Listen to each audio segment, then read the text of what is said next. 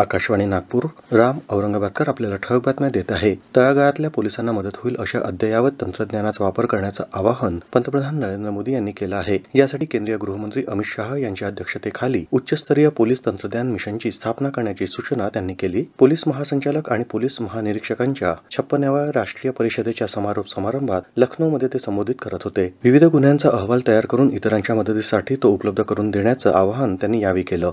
भाजपाचे राष्ट्रीय अध्यक्ष जे पी नड्डा यांनी आज भाजपा नेते विनोद तावडे यांची पक्षाच्या राष्ट्रीय सरचिटणीस पदावर नियुक्ती केली. तावडे यांनी राज्यात पक्षाच्या विविध पदांवर काम केलं असून देवेंद्र फडणवीस यांच्या मंत्रिमंडळात जून दोन हजार एकोणीस पर्यंत ते मंत्री होते.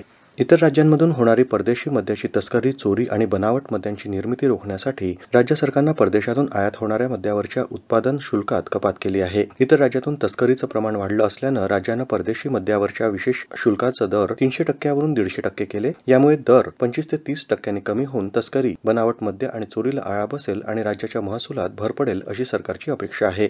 राज्यातल्या विविध जिल्हा मध्यवर्ती सहकारी बँकांसाठी आज शांततेत मतदान झालं. सातारा जिल्हा मध्यवर्ती सहकारी बँकेसाठी शहाण्णव टक्के सांगली जिल्हा मध्यवर्ती सहकारी बँकेसाठी पंच्याऐंशी पूर्णांक एकतीस शतांश टक्के लातूर जिल्हा मध्यवर्ती बँकेसाठी अठ्ठ्याण्णव टक्के मतदान झालं तर जळगाव जिल्हा मध्यवर्ती बँकेच्या संचालक मंडळाच्या एकवीस पैकी अकरा जागा या आधीच बिनविरोध निवडून आल्या आहेत.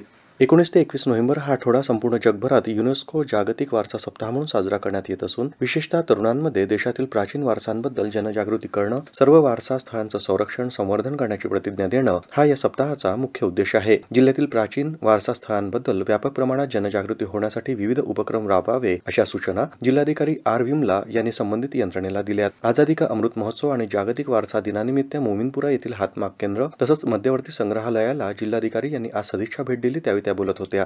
आय पी एलचं दोन हजार बावीसचं पर्व भारतातच आयोजित केलं जाणार असून नियामक मंडळाचे सचिव जय शहा यांनी काल चेन्नई इथं आयोजित एका सोहळ्यात ही घोषणा केली. या पर्वात दोन नव्या संघांचा समावेश होणार असल्याचंही त्यांनी स्पष्ट केलं. कोरोना संसर्गाच्या पार्श्वभूमीवर दोन हजार वीस या वर्षात संपूर्ण स्पर्धा तर दोन हजार एकवीसच्या स्पर्धेचं दुसरं सत्र दुबईत आयोजित केलं गेलं होतं. कोरोनाशी संबंधित योग्य माहिती आणि मदतीसाठी राज्याच्या शून्य दोन शून्य दोन सहा एक दोन सात तीन नऊ चार या मदत क्रमांकावर संपर्क साधा. याबरोबरच हे बातमीपत्र संपलं. नमस्कार.